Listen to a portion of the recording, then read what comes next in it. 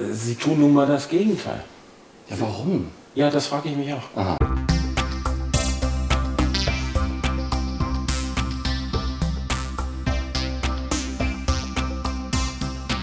Und ich weiß gar nicht, wie man auf die absurde Idee kommen könnte, dass ich jetzt auf einmal hier so ein äh, durchgeknallter Rechtsnationalist wäre. Kokolores. Die Antwort könnte sein, weil sie in der AfD sind, die ein paar komische Leute da hat, oder nicht? Ja, die hatten ein paar komische Leute und die haben andere Parteien auch. Wo wären wir heute, wenn Sie seit vier Jahren an der Macht wären? Den deutschen Steuerzahlern ging es besser. Das haben wir alle Parteien versprochen.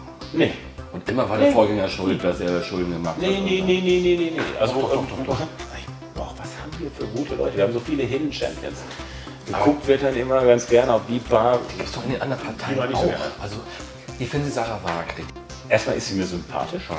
Sie ist in der Diagnose in aller Regel brillant. Wenn, wenn jetzt das zum Beispiel gehört, der Meuten lobt den das, äh, also in einem größeren Stil würde ich das nie tun, weil es fliegt dem Palmer um die Ohren. Das ist ein Riesenstil, jetzt wissen Sie, mit drei Millionen Zuschauer. Live, wir sind live.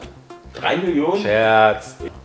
Was ist denn die Alternative? Also, ähm, ich meine halb scherzhaft, aber auch halb ernst. Die Spendenaffäre, so hat sie ein bisschen sympathisch gemacht. Aber, ach guck mal, die AfD ist auch schon angekommen mit den Altparteien. Oh, das ist aber gemein. Das ist jetzt wirklich privat und ich will das auch nicht weiter ausführen.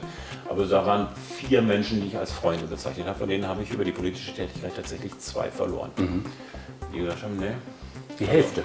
Können Sie das nachvollziehen? nee.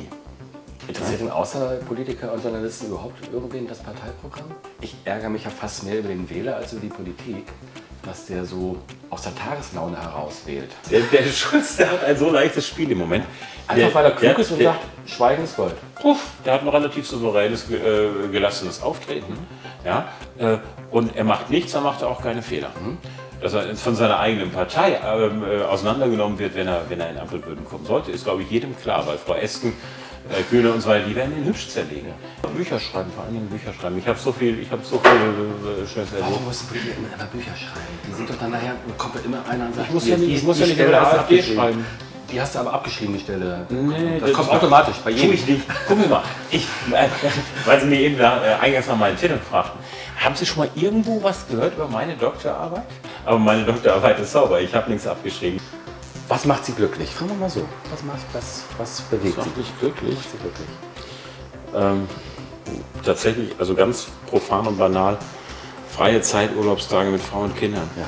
Ist einfach schön. Ich habe das jetzt gerade hinter mir. Warum machen Sie dann Politik? Ist doch viel schöner mit Frauen und Kindern. Profis werden es gemerkt haben, in den letzten drei Minuten haben wir wenig Ton gehabt. Das ist unser Fehler. Wir wollten einfach dem AfD-Mann die- den Saft Den Saft abdrehen. abdrehen. Der, der, Bin ich ja gewöhnt. der redet immer so viel.